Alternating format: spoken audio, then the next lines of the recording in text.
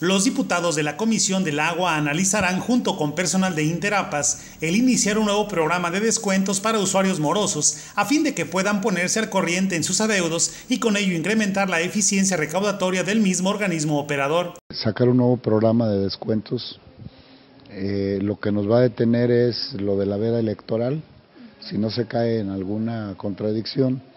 Y si no se cae en alguna contradicción, Interapas está, digo, la dirección de Interapas está de acuerdo que haya un mes nuevamente de, un programa de descuentos.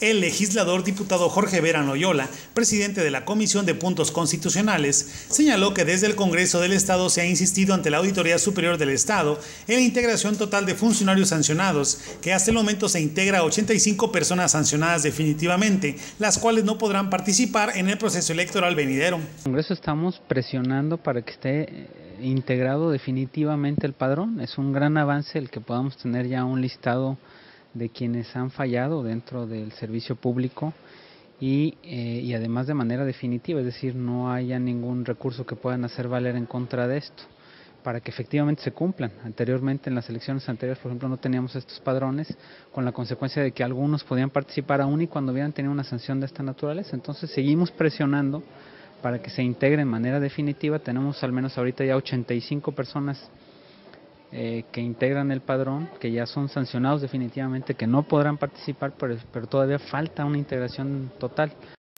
Los ayuntamientos deben respetar la Ley de Desarrollo Urbano y la norma oficial 083 en materia de rellenos sanitarios para considerar la autorización de crear nuevos fraccionamientos de vivienda cerca de estos sitios, señaló el diputado Martín Álvarez, presidente de la Comisión de Ecología y Medio Ambiente del Congreso del Estado. Perfectamente que eh, tiene que cumplir con ciertos requisitos que están establecidos dentro de la ley de desarrollo urbano como la misma ley de, en el caso de la norma 083 de los rellenos sanitarios.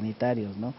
Eh, yo había comentado en, anteriores ocasiones que cuando hay un relleno sanitario que eh, realmente opera como tal, pues no habría ningún problema porque pudiera estar cerca este, pues alguna escuela, algún, alguna este, construcción de viviendas, etcétera, ¿no?